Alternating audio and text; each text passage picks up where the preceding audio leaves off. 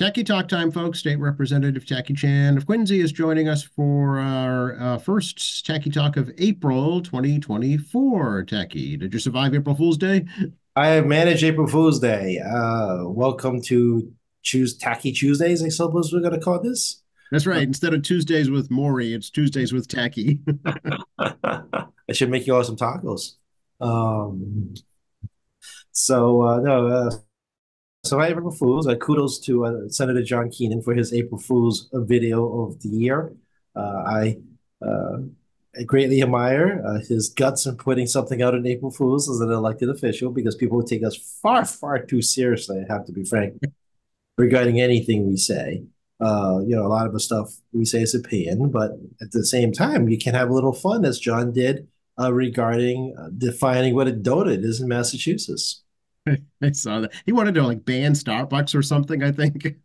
yes, it's like the pro uh, Dunkin's uh, video on uh, banning Starbucks and basically uh, seize its property by eminent domain and throwing it in harbor and all that stuff. I give John a lot of credit. That that was really funny and really yeah, he did a so, good job. If you haven't seen it yet yet on X, you know you should. Um, you know, remind everybody, as I often do, we're human as everybody else. And uh, you know, we, sh- we there's nothing that says we can't take advantage of, you know, innocent fun, uh, good-natured humor on July. I'm sorry, July's a different issue. On uh, April 1st, uh, yesterday. So, you know, I, I, do recommend people checking it out on uh, John Keenan's uh, uh, X account. Um, and uh, you know, enjoy a good laugh as much as everybody else. It's like a Christmas carols uh, during the holidays, where uh, several news stations will uh, do short videos of uh, clips of people singing a song, very selected around the state singing songs. So again, we're we're as human as everybody else, and we're flawed, and but uh, you know we also sometimes know something, and um, you know why can't we have a little fun? You can, you absolutely can. And the nice thing is now with social media, anybody can. So you can always add add to your own version if you'd like. But the beautiful thing about John's video is the more serious he got, the funnier he got. If you if you know John exactly, that that's why it was so funny. Because usually a very serious kind of guy. Oh, he has a lot of restraint on his side. You get as serious as possible. So again, much kudos to uh, John on a fun fun day yesterday. A little clip. Yeah, yeah. Nothing, nothing from you though, Tackey. No, I'm not that funny, as you'll hear from uh, me and Joe here as we do our little Abbott Costello routine. Um, we can take a guess who's the straight man every week. Uh, it's up to you to decide. Uh, but I was I was never much of an April Fool's prankster. Um, you know, I'm good in the zinger every so often. However, uh, to put together an elaborate uh, prank is a little beyond me. Yeah, yeah. Uh, so we're in the new month of April now. We're getting closer and closer to uh, the end of the budget season.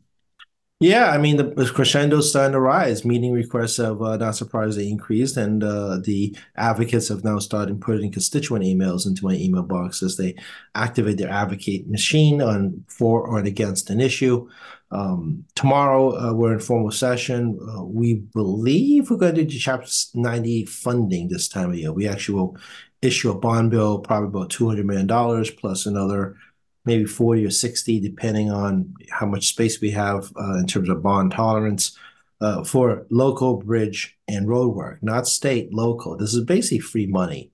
Uh, where the state adopts the uh, bond cost uh, to local communities. Quincy, being one of the larger uh, communities, is actually a very big beneficiary of the Chapter 90 bond bill and to actually have a, a solid number. We can talk about that next week.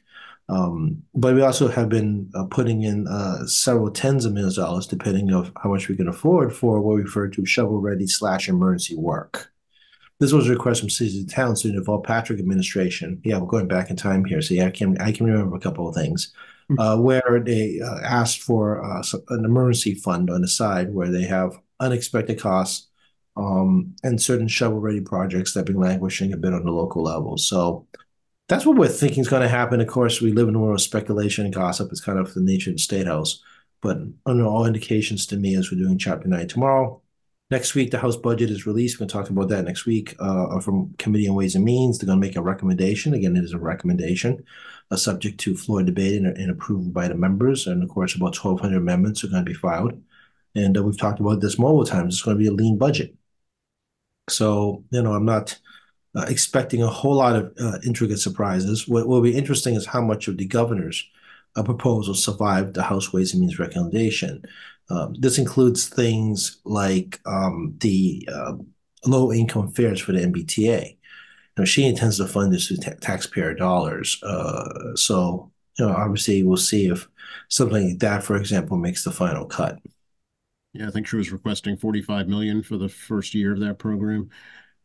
Yeah, it's a pilot program. Uh, but as I like to say, once you provide a benefit to the public, it's hard to take it away.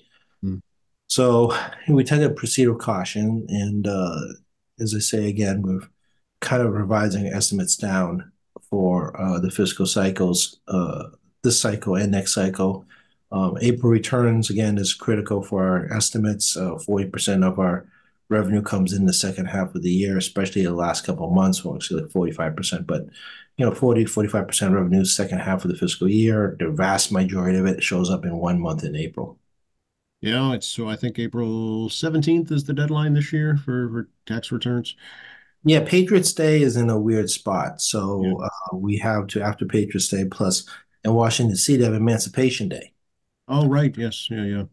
So it is a public holiday. And since the IRS is based in Washington, D.C., they followed the public holidays in Washington, D.C. regarding a collection. So I believe Emancipation Day is the 16th. That's right. It's, it's Tuesday. Yeah. Yeah. So you have a weird kind of long weekend to get your tax return to done. Again, I don't recommend you wait to the last minute. Um, uh, if you're mailing something, obviously you got to give time for the mail to arrive. It's those of you that have been kind of guessing when your bills get, because I still mail my bills. I have not gone to digital payment for whatever reason. I can't shake this practice I've done since I was a teenager. Um, I should modernize my way to pay my bills, but I just can't seem to shake the habit.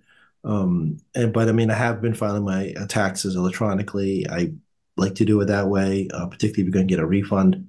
Um, it can be a little bit of a cost of using TurboTax, but the Department of Revenue actually has also its online system. So if you want a TurboTax or uh, uh, or use H&R Block or whatever, software for your federal taxes and file for free. Uh, many of them will do that for you. You can actually go to the Department of Revenue website and they have an opportunity to file your state taxes electronically for free. Yep, yep. And um, many times the cost of the software can be deducted, at least I think, from your federal taxes. That's correct. Uh, your tax preparation, if you qualify well, if your uh, total Schedule A deductions exceed the standard deduction, you can get uh, a greater deduction because you're, you're, you're bigger than the standard deduction, which includes tax preparation, includes the software. So something to keep in mind. Hold on to those receipts, obviously, for, for a couple of years. But uh, you know, if you're looking to, you know, if you have a big enough situation, you're looking to add to your deductions, yeah, put on your Quicken, H&R Block, or if you use a accountant or tax service, you know, make sure you get a, a receipt from them when you pay your uh, accountant or tax service, and uh, you can add that to, you know add that to your deduction or tell them to add it to deduction if they forget when you double check your paperwork. Yes, yeah. You know, there, there's uh you know there's there's good opportunities to do that. Yeah, yeah. But local aid tax, Tackey, um, mayor here in Quincy was was complaining about the small increase he said the city is getting for the schools and for unrestricted aid. I think he said like only a 300,000 increase on the school side and a 700,000 on the unrestricted aid side. Does that sound right? Well, the Chapter 70 money is a formula based on more of a real accuracy of what your school system looks like today. Yeah. And it has a lot of different factors, including a separate factor away from the Chapter 70 formula itself regarding low income students and in the investment per pupil minimum cost. So the Chapter 70 formula for every community will, will slightly change every year, but I also like to remind folks that once we implemented the Chapter 70 formula, if I remember correctly, we went from essentially 28 million to almost 34 million dollars. Right. So you know, seven plus million dollars for each year for the last two years. I think last year was almost 10 million. That sounds right. Yeah. So I mean, 17 million ish dollars, give or take a little bit, uh, for last two years you know, uh, is a, a, giant chunk of change uh, mm. for the city, which budget is approximately what just under four hundred million now. I, yes. I, I, looked at the Quincy Sun cover. I haven't had a chance to open yeah. this. No, that's about that's about right. It was like three sixty two last fiscal year, so that sounds about right. Yeah. Yeah, you throw in local aid that you know, in the unrestricted local, aid, which is taxpayer money given for free, um, plus the lottery money. Um, you know, last couple cycles, it was about 35-ish million dollars. So, I mean, if you're $40 million, you know, 10%, you know, not quite 10%, but, you know, 40, 40 million bucks, under just under 4 million bucks, give or take, you know, is is is state local aid. So give you an idea exactly how um, how much uh, the state is participating in the budget, not including things like cultural council grants, the library assistance funding, the uh, council aging money, uh, school uh, school breakfast money, which is our state money. Your taxpayer money goes to school breakfast and school lunches, which is not uh, a cost taken up. Um, we help pay for different public health issues in the local level. Um, and of course, a number of different grant programs, both not-for-profits and, and the state, uh, to the city. For example, the hazmat equipment and training for the Boston Fire, I'm like Boston Quincy firefighters. As you can tell, I'm kind of slurring my my words, but Quincy firefighters are, you know, uh, you know, has a hazmat program paid by mm-hmm. the. Oh yeah, yeah. State. So, uh, Speaker Mariano has been championing cha- championing uh, those funds for for many many years. So, yeah. you know, there, there's a lot of costs, and uh, I know it's not election years for the for the locals, but it's election year for us, and I don't disagree that you know that the uh, the aid formula for uh, Chapter 70, you know, is now being you know adjusted based on real costs of the schools. But you know, keep in mind, I mean, they kind of neglected the uh, the generosity of the formula prior, and then Chapter 7 lottery money is based on projections of how much revenue is coming in. So if our revenue projections aren't that great, you know, it's going to be a trickle down effect to the local level. Right. So. Yeah you know, so belt tightening is going to be going all around to all municipalities yep. as well as the state as we try to, you know, move back to core services. And I can't speak for the city's priorities, but you know, our, I fully expect Ways and Means to to very much belt out, belt tighten back to core services, um, and then try to figure out from there what is you know considered a, not a core service, um, and uh, you know see what the appetite is to to see uh, if how generous or not you know, in different parts of it. So, you know, I respect the city and the challenges they have regarding putting together a budget. At the same time, you know, I remind folks that the, the state has been very generous when times are good, including a whole lot of ARPA money. And, I was just going to say, a lot of that the pandemic era funding is now gone, right? That's correct. Uh, pandemic money be uh, totally uh, consumed at the end of the year um, because it's already been dispersed. Right. And, uh, you know, it's actually it's kind of unfortunate got a list from uh, ANF, Administration and Finance uh, Office, uh, sent to the legislature every member regarding um, assistance in contacting certain uh, agencies and municipalities who have not responded to Administration and Finance's form for funds. They just don't hand you a check. You actually have to fill out a form to the state to get your money that we've allocated to you, whether it be as ARPA money or state earmarks or targeted grant funds. You actually have to like sign for it. It's just like here, hand you a check, right? Right, right. You actually have to sign off on receipt, and this includes capital projects too. For example, let's say the there's like you know ten grand for a sidewalk, just to make a random example, right? You know, you still have to sign. The city of town has to still sign off at that 10, 10 grand. So, you know, there, there's a lot of paper involved uh, on certain projects that the at our level, but most municipalities hopefully not do it. Not for profits, maybe less so. They're not used to being part of the state uh, recipients. Mm. They may not know how to do it, and there's some uh, barriers regarding um, how to fill the forms. But you know, I, I, can tell right now, state agencies are eager to be helpful on mm-hmm. things like mm-hmm. this. They have to yeah, and last I checked, Quincy hadn't done that yet. Yeah, I mean, they should have at this point, but yeah. Yeah, and that's something they asked them, not me. I, I did yeah, see. No, I'm definitely going to. Yeah, I'm glad you brought that up. Yeah, you see Council DiBona uh, last time. So yeah, the council president I saw on April 1st uh, podcast. So, you know, uh, these are things to ask the local folks. I, have done my part.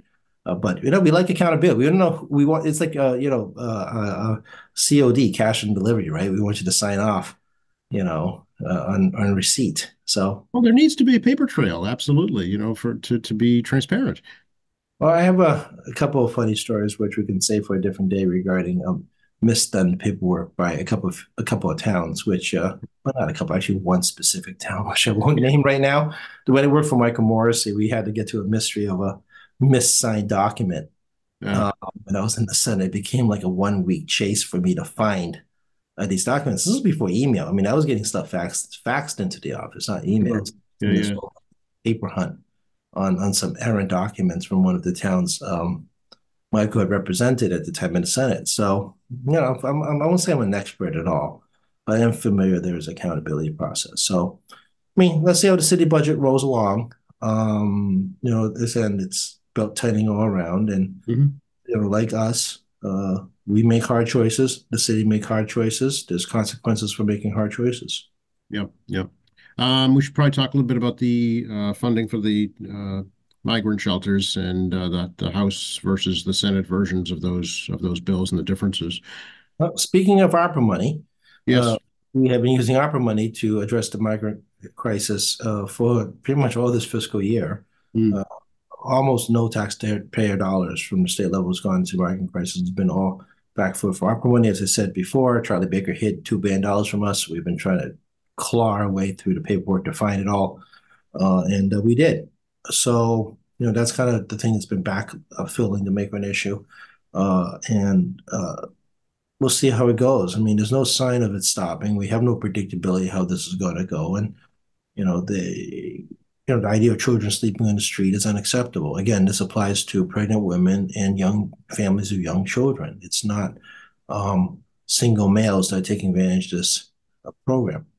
So this applies to any person that comes to the state. That includes local residents, and you know, the the job is to ensure that everybody's able to get helped, even though there's a cap on it. But at the same time, despite the cap, you know, uh, migrants are um, being temporarily housed any way they can with the state, and it's become a kind of an interesting issue on what this cap looks like. Which, to be honest with you, the administration can't explain to us.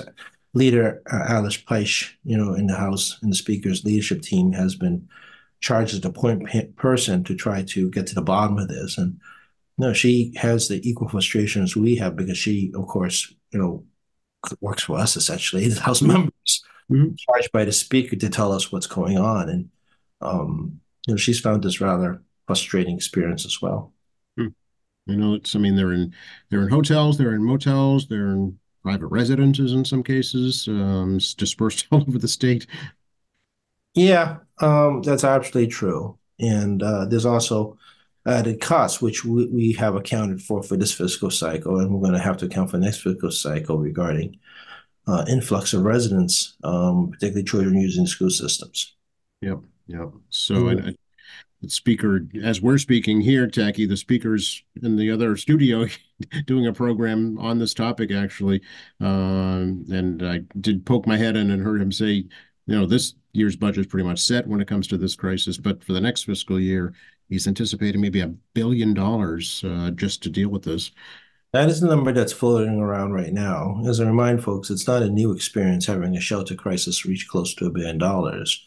The problem was that we never had a billion dollars happen in one fiscal cycle. We've had it happen over multiple fiscal cycles, as for example, the foreclosure crisis got worse and worse after the fiscal uh, financial crash in two, uh, 2009. It, the uh, the t- it takes time for that crash to catch up regarding um, basic foreclosures. Remember all those homes in all our neighborhoods that were kind of abandoned and people just walked away from them and it turned into like decrepit.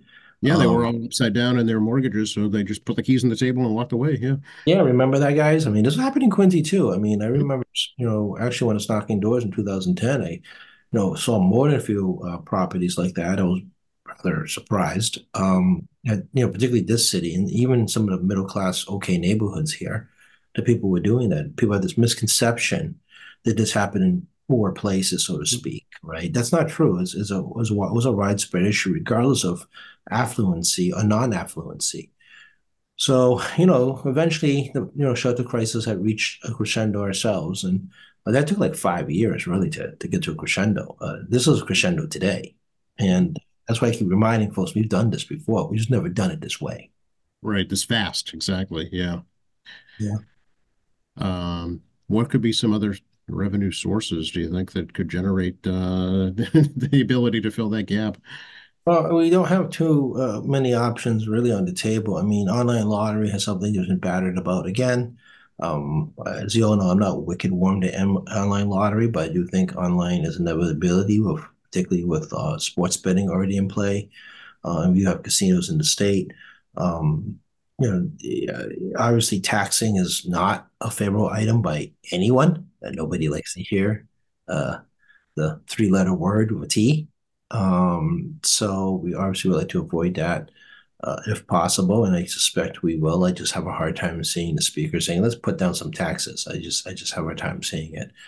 Uh, the reality is that there really is no real strong options remaining on revenue generation. Um, you know, all types of business revenues are been uh, tapped out in that sense, and of course, you have the millionaire's tax that's already kicked in. Right. And, uh, it, it's unpredictable because it's so new. Um, and capital gains doesn't matter because it goes to the rainy day fund. So, you know, we have an $8.2 billion rainy day fund we could draw from. You know, so I, I do think we can get through several fiscal cycles keeping core services intact. Uh, but you know, just because of a big rainy day fund, you can't drain it all around. I mean, just like you know, every household, you're going to belt tighten first. You know, retreat to uh, your essential needs, uh, essential payments, and then you know, then you start drawing down from rainy day. And that's that's a philosophy we have. Right. God forbid there's another pandemic or snowmageddon or whatever. Yeah. Or terrorist attack. You yeah. know, I'm sorry to say. I mean, nobody ex- expected the Boston bombing. Unfortunately, we were. It's okay. I won't say it was great fiscal years. I mean, it was still in the financial crisis of 08. It took five, six years to get out of it. But you had rainy day funds available uh, still to, you know, put put some money in. You know, and we did that in a um, informal session the week of the bombing to put money available right away for police overtime immediately. Um, so, you know, we, we can we can draw on rainy day funds here and there uh, to make it work. And um, you know, we also uh, allowed uh, we're going to be allowing the governor as soon as the House Senate reaches a agreement to allow the governor to draw on the interest from the day fund, not the principal, just the interest under certain conditions. There are caps and controls uh, to use that money to leverage um, the massive infrastructure money that's going to be coming to the state to help pay for our share of it. Uh, if you're ready to go, the feds are going to give you the money, right? So that's another potential offset in the sense of revenue sources and bonding that we can use uh, to keep the bond debt down and you know not use taxpayer dollars for uh, well not taxpayer dollars in the sense of you know income tax dollars but interest generated from the rainy day fund to help with that. But it yeah. not it isn't a permanent solution in the sense of the fact that you know it is such a big gap. So you know again it's a lot of little pieces together. And maybe some of the governor's initiatives don't become part of the budget. We just decide that it's just too expensive or it's not the right time. Mm-hmm. um yeah, I, I, again, you can kind of get sense. I hope from what I'm talking about, it's a lot of moving parts. It's not like here's one solution to solve all your problems. It's trying to right. kind of patchwork a bunch of different solutions. Yeah, yeah, and and like you say, it's going to take time to play out. You know, and I think that the the bigger picture hope is that the the migrants that are coming that go through the system and and and get jobs contribute back to the economy. Well, that is the work we're doing now. I mean, the governor's office, you know, has been making a strong effort, and we, you know, acquired some lawyers, like talked in past shows, as part of our appropriation process. The governor's office to, you know, help with work permits, and we have various not-for-profits uh, groups around the state that are already stretched out because they're helping in the refugee crisis too. And uh, you know, it's it's a lot of moving parts. I mean, there are Afghans, there are Ukrainians, there are Haitians there are Bhutanese. There are a lot of actually other refugees that you've never seen or heard about uh, living in Quincy. Uh, uh but other communities also manage that issue on top of the migrant crisis as well. Yep. Um, so, I mean, the state's actually, believe it or not, very welcoming to foreigners. I mean, it's not like immigrants are not welcomed here. It's just that we have a lot of different uh, circumstances going on at the same time that's being borne by the state and local level, and the feds just walked away from us. So you know, um, you know, it's we're cleaning up somebody else's mess, but it's people and people. We help people, and trying to figure out the best way to do it is not an easy thing to do. Speaking of infrastructure, I don't. Did we talk last time about um, had the had the Baltimore Bridge uh, tragedy occurred yet? I don't think we talked about that. No, that happened over the weekend. Yeah, uh, very rare. I see this level of disaster. Really? Yeah. Yeah, and the tragedy of six folks, uh, two bodies recovered. I'm not sure. I haven't checked later if they found the other four. Not as of uh, a couple hours ago. Yeah. Yeah, and amazing. Uh, no more fatalities and, and injuries. And apparently, there was a fire on the ship, and uh, supposedly they had to cut off the engines because of the fire. Now the thing's kind of drifting. Yeah. Now, put in perspective, I mean, this thing is this large barge, fully loaded, And uh, when that thing goes adrift, I mean, you know, mass plus any kind of speed equals immense amount of force, right? Yeah. So, um, yeah, but I mean, it, it just went down the, the middle of the bridge. It didn't hit like a, a, a support structure or something like that.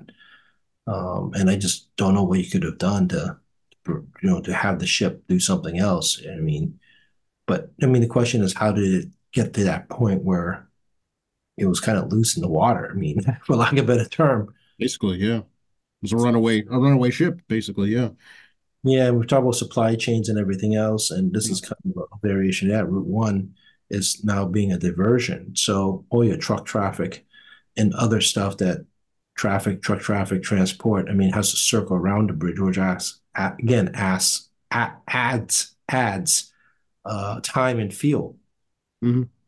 And uh, this also affects shipping traffic as the feds and the state, you know, are trying to uh, activate a port, another port nearby uh, to unload cargo. Yeah, I wonder if Boston will be part of that that contingency plan. I couldn't tell you right now. I mean, obviously, Everett and New Bedford are two big shipping ports. Mhm. Um, they may have to do diversions, which again, you know, the reason ports are picked today where they're picked because again, they want efficiency of speed. Mm-hmm. Move stuff quickly. Again, time and fuel, two very important things uh, to try to reduce as much fuel as possible and reduce time as possible. But I mean, it's going to not just affect cargo track, but traffic, but also you know, moving stuff that are um, based on trucks. Right. And, uh, I didn't realize this, but there's like a Domino sugar plant down there. Oh, I didn't know that. Yeah, that's a main access point as well as cars. A lot of cars go to I heard about the cars, yeah. Yeah, so I was very surprised. I mean, I don't know anything about that port. Why would I? It's Maryland. Right. You know, as I read this here and there, as I'm trying to read on my news feeds, um, yeah, this is gonna be a big problem in the. Northeast. Yeah, it's it's you know, it, it, I mean, if if somebody had wanted to to take out uh, a main shipping port, that would have been the ideal way to do it, you know, if it was intentional. So hopefully it doesn't give any, anybody any ideas. I love the conspiracy theories already starting regarding like, you know, this there's a I saw someone send me a post that this is an AI error. The bridge has no AI to it. It's a No. and the Oh, the bridge is over 50 years old. There was no AI when it was built. Yeah, and then it's a, a ship. I mean, a mechanical failure has no AI component. So I'm kind of like, yeah, these I love these rapidly rising conspiracy theories on a non-computerized bridge, essentially, because it's Mhm. like has an AI running that bridge, and you know, a cargo ship essentially, and no amount of AI is going to stop that bridge, much less start a fire. It's not like the computer decided to light a bunch of matches next to some fuel. So, I mean, it's it's amazing how quickly um, you do that. It's also amazing how people use their credentials, like former media people, um, you know, people questionable scientific um, credentials or in questionable publications. You know, will use that you know as credibility for what they say on the internet. hmm hmm Yeah. Yeah. Just check your sources, folks. Uh, you know, just know where you're getting your information and and, and verify. Yeah, and also like, use a little degree of common sense here. It's a That's it. bridge. There is no computer. No, as a matter of fact, you know, they they had to put up physical blockades to stop the traffic from going over just minutes before it was collapsing. Yeah, exactly. Um, it also shows you the size of our infrastructure, right? The whole Mm. country touches each other. Uh, every state touches each state. Every country around us, Mexico, Canada, touches the United States, and uh, all the shipping comes in and out of and out of the um, and of the uh, country. You know, also all touch each other. So, you know, globalization, interstate commerce. You know, uh, our own regional trading bloc. I mean, you know, we are integrated to each other.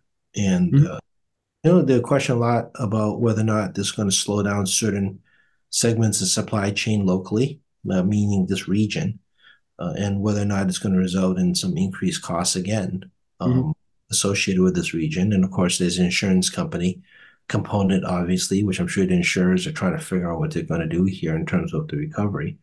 And there's also safety. Got to get that feel off the ship. That too. Yeah. It's, there's there's a lot going on. Is all and the cargo that's in those containers on the ship as well. Yeah, and you've seen these cargoes in the news, and it's massive. You have these cranes pulling them off. So I really don't have an answer for you. Uh, structural engineers, you know, have to do this safely, considering the environmental hazards, mm. uh, as well as human safety, mm. um, as well as don't want the bridge to keep coming down. Right. Exactly. Yeah, lots to consider. So, just, just, uh, yeah, and amazing to watch. You know, just to watch how it happened. It just couldn't have been more perfect in a, in a tragic way. Oh, absolutely. You know, and uh, you know, we're living a lot of bad news, and it contributes to people's moods. Mm. Mm. Right? More bad news that's in the media, and people seem to be addicted to their social media as well as their standard news media on television. Uh, and uh, the more you feed bad news to people, uh, the more it feeds a negative attitude. Yeah, yeah. Uh, we always talk about the economy here, and there's actually been still good news with the economy. At least the latest data showing pretty strong manufacturing data. Yeah, manufacturing is strong. Consumer uh, consumer confidence is like a C minus, ain't great. Yeah, that's about right. Yeah.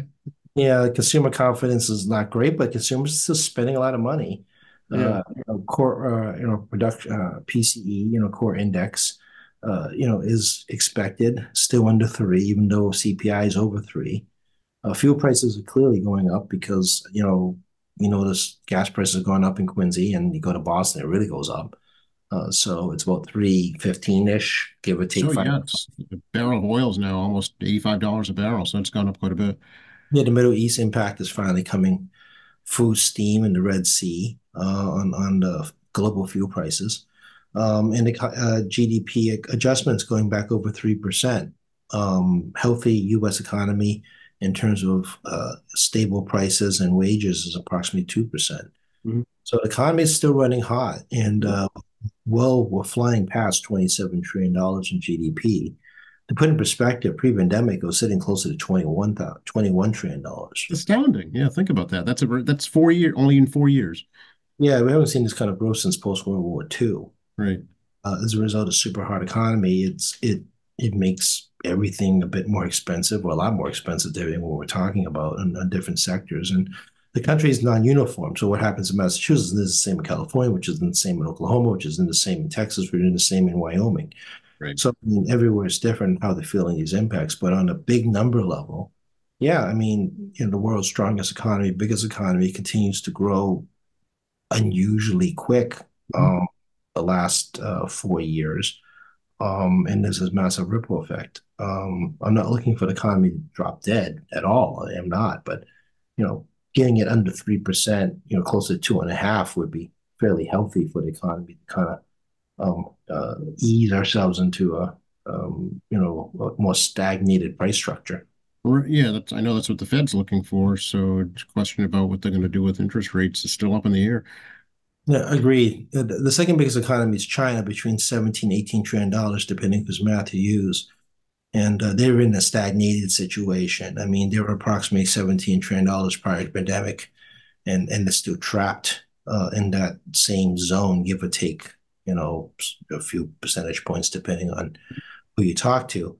Uh, and again, they went on a highly regulated, controlled economic um, economy. They're not a free market economy in the way we do our free market economy. But meanwhile, countries like India, you know, which had a very questionable COVID experience. Um, if you paid attention, India's COVID experience very, very uh, messy. Um, you know, has rocketed into the top 10 strongly in terms of its economy. So in Japan, um, you know, has uh, dropped to number four, despite the fact their economy is growing for the first time in 30 odd years. Mm. Uh, Germany has moved to the number three spot after China. And the Gulf is, you know, almost $10 trillion from China down to Japan and, and Germany. Give you an idea of the size differential. Being big matters um, in terms of population and resource resource rich. Um, so even though the U.S. is a smaller population, I mean, we're resource rich, we're a free economy, um, we're a regulated economy, we're a pro-consumer economy, um, and it, it makes a difference. So, yeah, good numbers all around on economic news, but people still feel pretty unhappy because prices are still high. People still feel pinched, and you know, there's only bad news in the news, which also doesn't help. Mm. Yeah, it's yeah, a lot of it is you're right, emotion. True. Yeah, people are exhausted. War in Ukraine, the tragedy and horrors of the, of the Gaza Israeli situation. Um, you know, you have uh, if you really look around, I mean, you got a you got massacres going on in Myanmar, and this crazy civil war still. I mean, domestically, there's another shooting. Seems like every other week, another type of mass shooting somewhere in this country. Um, and of course, the presidential election is going to heat up to be quite a bit of uh, I won't name names, but just straight up name calling and lack of actual substance which uh, basically going to either people eat it up or they're going to be infuriated by, depending on where you are. Uh, and um, you know, optics matters, and uh, strong leadership generally means good optics and leadership, and people don't have confidence in the optics at the moment. And the weather's still crummy too. it's on top of it all. This has been a wacky warm, cold, warm, cold with a lot of wind. Uh, this weekend's a classic example of a rainy, crappy Friday, followed by a windy Saturday, plus a sort of okay Sunday. And we're going to have like a couple of nor'easters tomorrow, being Wednesday and Thursday, just to mess up our travel day in terms of work. For those of you who are going to work, uh, we do have a formal session. I do have to show up, and uh, uh and we have two days full of meetings as well. So, you know, it is a that doesn't help our mood in New England. But as you can tell, I'm kind of conscientious of the of the effects on all our psyches mm. um, regarding the environment we live today, regarding everything from the weather, which is kind of like, you know, we're New Englanders. I mean, we we should be accepting that this is kind of how this works up here. It's but true. I, Although we we always hold out hope, I think that it's going to get better. you always hold out hope for a steady five days or something good, right?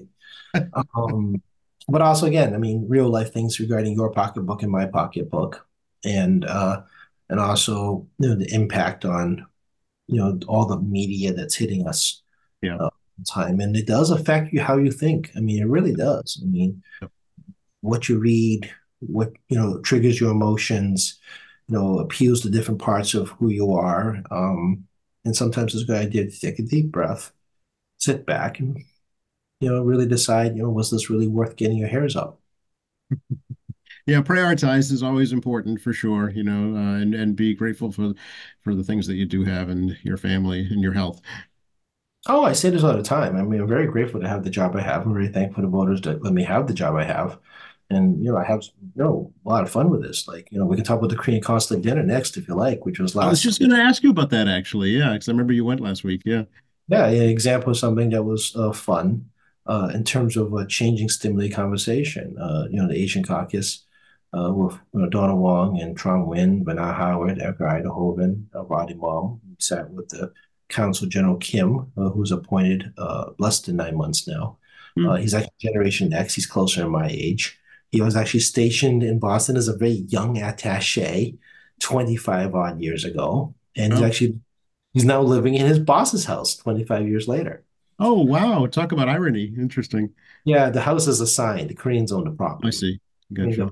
Property, right? So we talk about like like Korea is uh, putting eighty billion dollars in investment in Massachusetts regarding R and D research, bringing their companies in and collaborating with other companies locally on biotech, on um, straight up hardware, software. Uh, they're developing flying cars. Is one of the locations. Boston's a research location for flying car tech. Uh, new fuel cell technology in our location uh, in the global stage that the Koreans are investing in. Mm-hmm. Um, the technology here, it is a Boston is safe in the sense that it's a geopolitically safe location. Um, we have a good law regarding intellectual property rights. Mm-hmm. Uh, highly educated state. Uh, we are still a state that does a lot of high tech manufacturing, very appealing uh, for Korean industries to come down. Uh, the Korean president, uh, Yoon uh, very impressed with Boston. We found out they had many choices with cities when he visited last April. Uh, his second stop was Boston. He would like to return to one more visit during his term of office. Uh, Korean presidents only get to serve one five year term. There is no opportunity for a second term. So he's midway through his first term and he would like to make a second visit, uh, which of course creates a lot of pressure for the local consulate to make sure everything's perfect when the big boss shows up, right? Right, of course. Yes. Yeah. So he was happy he wasn't the consul general at the time. Uh, because he didn't have to worry about that. oh yeah, as you guys can all imagine, I hope you all appreciate when the president, which is your country's president, and you're the uh, uh, local foreign affairs folks in the country and city where you're stationed, and uh, your big big boss is coming. You can imagine the stress levels. I hope you appreciate that kind of stress levels that it creates for the the consul general and the staff. So, but uh, he may be experiencing that. He thinks. Uh, we talk about a little geopolitics, and one of the things that we don't see here uh, easily because it's not like we pay attention to that part of the world much. But Kim Jong Un, who's the um, the dictator of North Korea, essentially, um, has made new BFF. His best friends forever is now Vladimir Putin over Xi Jinping in China.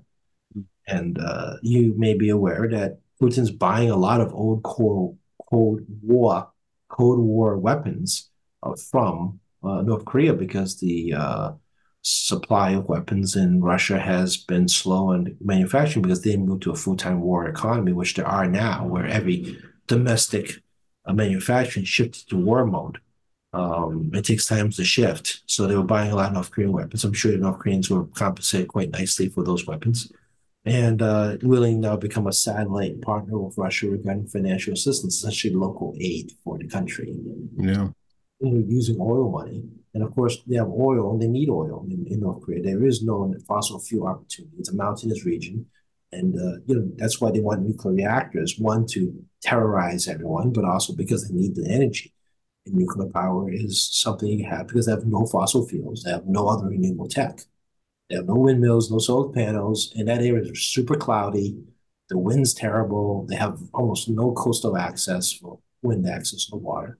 So they depend on fossil fuels, which they do not have any because they don't have literally don't have any. And um, you know that's why there's nuclear terror plus you know Russian partnership. And uh, I had visited Korea, uh, uh, South Korea, on the uh, diplomatic mission 2014 uh, as a guest of the South Korean government. and then I did visit the DMZ, which is remarkable. Um, and one of the things they have on both sides of the DMZ is uh, identical facing monuments you know, with peace, unity, and and uh, hope that that there'll, there'll be one people, one Korean people in the peninsula. Mm. And uh, the North Korea side has removed those monuments. I see. Okay. That is a problem. You all yes. think, oh, it's just some monuments, took some signs down, big deal. No, it's a sign of political shift of foreign policy in North Korea regarding that towards towards the southern neighbor and also changes the communication of how you have to approach North Koreans, which is very hermit kingdom and kind of guessing. So it's easy to sit in our little chairs at home like this, saying, "Oh, he's just a crazy dictator." No, he's not crazy. He has an agenda. It's just understand what the agenda is. And 50 million people, you know, in a vulnerable position, which you don't need modern weaponry. You can hit it from World War One weapons. Yeah. Um, to basically kill millions of people in one strike in a short time period. So people forget about the Korean War, but it was it was quite horrific. Oh, Korean War was very very brutal. Uh, I know Korean War, war, Korean War veterans are slowly passing away as we lose our greatest generation, but Korean War was very very. Um, and a lot of Koreans died. A lot of Koreans, not military but civilians, all through them. And uh, it's a country that you know has a huge U.S. military presence. It's the only military base on the Asian continent now that we've left Afghanistan, which is also on the Asian continent. Second one was Afghanistan. And, you know, it's a huge security component in, you know, their top five economy. So, and then maybe, as you can hear earlier, the major trade partner in Massachusetts, not, you know, as well as the entire U.S. Mm-hmm. Um, you know, we talked a lot about that stuff. It's interesting to hear the perception of, of folks regarding what's actually going on on the ground in their in those countries and yes. how even domestic politics, so in parliamentary elections, um, they split us expecting uh, perhaps a split situation where they have one party run parliament and the, and the president of a separate party. Um, third parties have risen, trying to disrupt uh, the mm. status quo. Um, and uh, you know, it's going to be interesting to see how how that works. And they actually have impeached the president. We actually talked a bit about the last impeachment, where they actually did impeach and remove a president. Oh wow, I didn't know that. Yeah, she was uh, very problematic on a corruption scheme, and even her own party just abandoned her at one point. She was wow. reached that level of intolerance, very different from Americans. Yes. And The reason is very simple. It's because Koreans been under military dictatorship before they had a modern democracy. Modern democracy didn't actually occur until the 90s. Right. And they so, don't want to go back there, I'm sure. So, yeah. Yeah, absolutely. That's why they have a one term, five year president. Mm-hmm. That's why there's a whole impeachment mechanism. They do have a criminal investigation, you know, separately and all that. Mm-hmm. Uh, it is completely designed to pre- prevent another military dictator. Yeah, yeah, yeah. No, that's right. Nobody, nobody in this country remembers um, British rule over the colonies. that is true. It's been a long time since we had unseat uh, uh, someone else in charge of this country, right? In terms of just like you know, I'm going to do my way and screw you people. Uh, I think yeah, next year's the the 250th anniversary of the revolution. So yeah. yeah, oh, absolutely. But uh, you know, South Korea has a government that's designed specifically, you know, to prevent another military dictator. Mm. And, uh, it works, and like I said, uh, it became less about a political interest of parties and became mm-hmm. an interest of security of the nation. And uh, frankly, we could learn a lesson about that.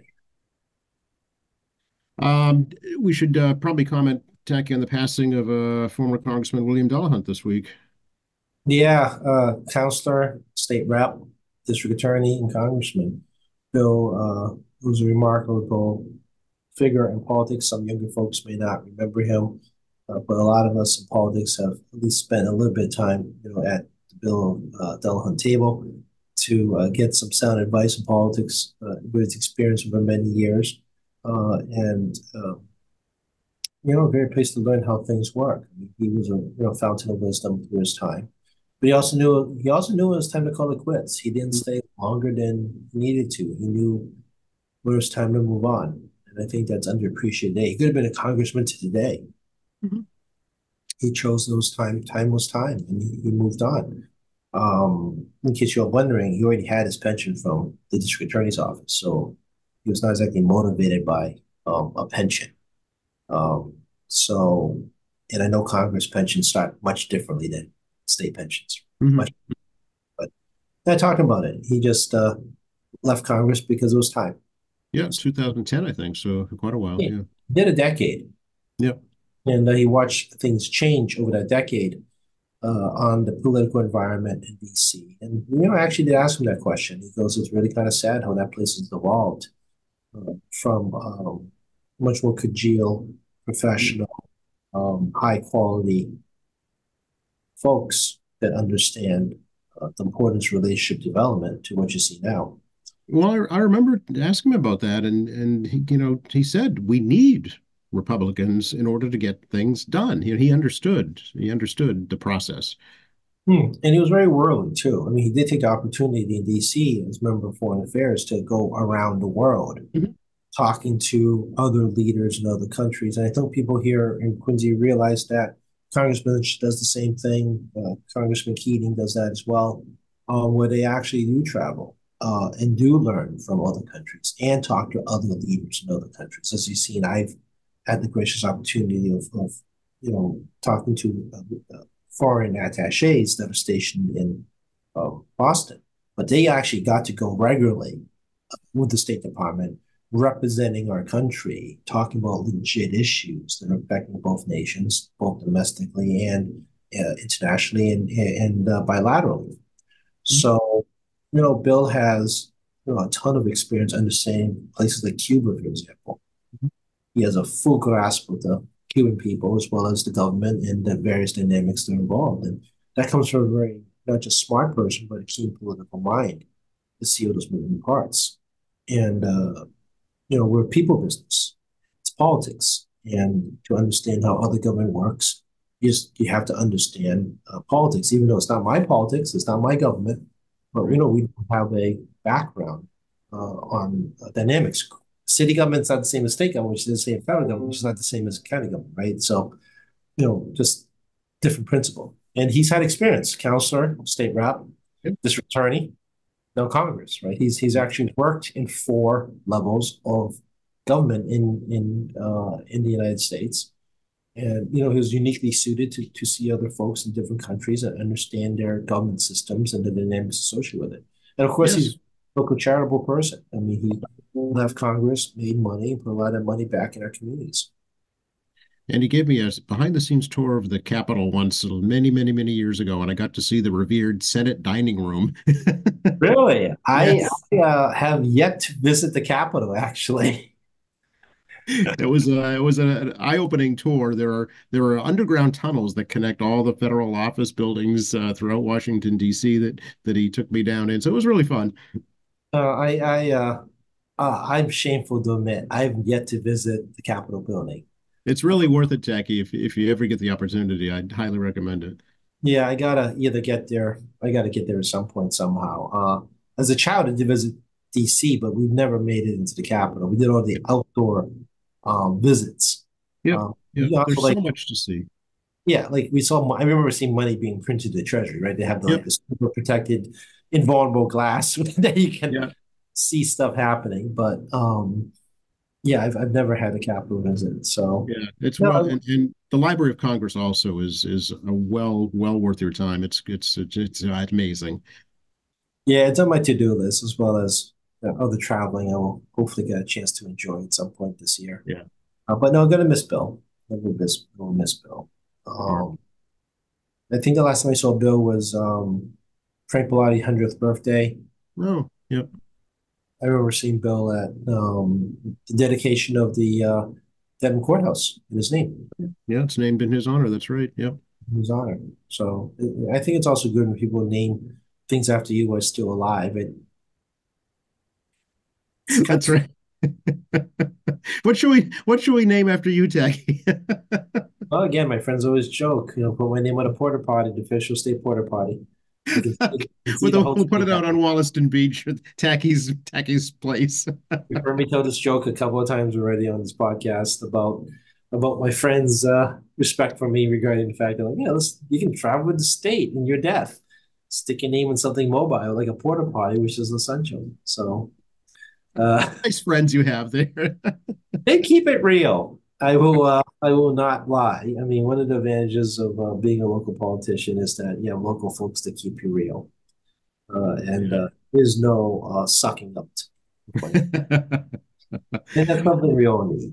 We all need, you know, friends that aren't afraid to just slap you uh, every so often when you get a little ahead of yourself.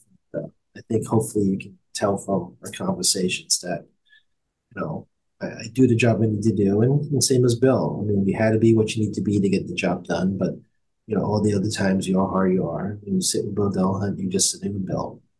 That's right. Yeah, that's that's a great way to describe it. Yeah. Yeah, I'm gonna miss that.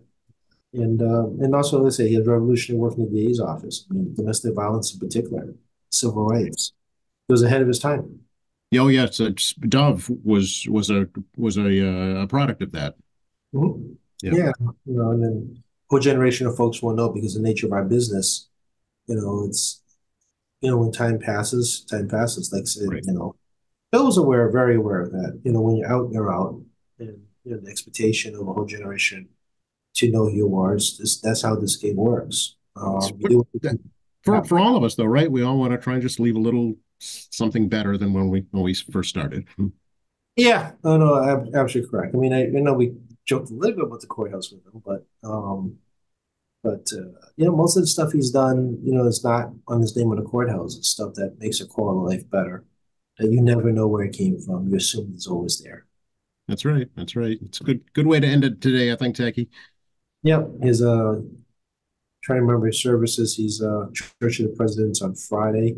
Yep. Two to, two to seven. Yep. And uh, his mass. It's on my calendar. Yes. Saturday, 11 at St. Gregory's in Dorchester, actually. Yeah, yeah, St. Gregory's. Yeah, it's on my calendar now. But definitely, uh, it's definitely part of my weekend travels. Also, happy birthday to Merrymount Association. So let's just oh. go on a happy note. Uh, go on a happy note here. Uh, happy birthday, Merrymount Association. This Saturday is going to be the 100th birthday party. Um, and also want to remind folks your favorite podcast on Google is going away. Google is canceling the podcast service. If you haven't seen that notice enough, get emails. Obviously, QATV is part of a podcast service, and uh, I don't understand how to use uh, YouTube music. I can't figure this thing out easily on um, getting to my podcast. But uh, you know, just a little reminder uh, at the end of the show, if you're using Google Podcast, I'm sure you see the banner up top. But just want to give you reminded if you want to continue to listen to me and Joe, uh, definitely switch to another podcast. Yeah, oh, for sure. Yeah, we're on all kinds of different platforms, so definitely. Yep. Okay, So- how do we get a hold of you, Tackey? Oh, do we have to get a hold of me? Of course. Absolutely. 617-722-2370. 617-722-2370. It is uh, Chairman Parisella's office. If uh, the front desk doesn't pick up right away, you get the automated system. So please be aware that you hear Chairman Parisella, not Chairman Chan. So um, you have to get through the prompts if the front desk doesn't pick up. Tackey.chan at mahouse.gov, T-A-C-K-E-Y at mahouse.gov. Um, even just the time that we've been chatting here, I've already received um, some 20 odd emails Wow. just really quickly. Um, so obviously we're hit that point where uh, emails are coming hot and heavy regarding the budget. Um, State Reps Attacking Channel on Facebook. This is how Joe knows where I am, so you can make questions about where I've been and why I'm doing what I'm doing. But it's also, you know, some happy components to it. You know, uh, Student Government Day is this Friday, for example. Right? We have a Quincy uh, youth appointed to the Governor's Youth Council, for example. So, you know, it brings a little bit of State House to you through the State Representative Tackey Chan Facebook, as well as at tackeychan.com. with- I'm sorry, dot .gov, at, dot .gov. Uh, dot org, I think. Org. Lord have Yep. mercy. Lord have mercy. I'm getting confused. It's all right, I got you covered. Yeah, thank you, Joe. TackeyChan.org is a resource page. Again, you find some phone numbers. Um, and of course, MAlegislature.gov is the state Mhm. website. Um, again, I strongly encourage people to visit the website. You can watch public hearings, you can watch the sessions, you can look up bills on your own. Um, that website and my internal system was synced. There is what I see is what you see. Um, so I have no special uh, information that's not public already. And uh, you know, of course, uh, you know, we have uh Ataki Chan on X. Did I mention that already? I'm getting Yes. you know, Joe, I've done this like literally like 300 times and I still can't remember. Tell. Um, and of course, QAT with Joe, with Joe can constantly correct me. Why don't you just tell everybody where I am, Joe? We've done this enough. Um, you know, on his uh Quincy in the AM, you get your 10 minute important uh Bolero local stuff, um, as well as listen to Joe's many interviews uh with not just me, but many other elected and um not-for-profits and business leaders. Um, and of course, you know, Mark's in the next room getting the speaker. Um, I think Joe's got a better deal today, just saying. Um, of course, you know, I do end up on Mark Crosby as well, and um, and that goes out to the to the entire uh, um, what do you call it, uh, community television network. Yes. But we're immortal on YouTube and uh, and your favorite podcast stations. That's correct. We will live on in infamy. We're living immortally in, in this medium. So Thanks a lot, Tackey. thank you, Joe. I'll catch you in a week.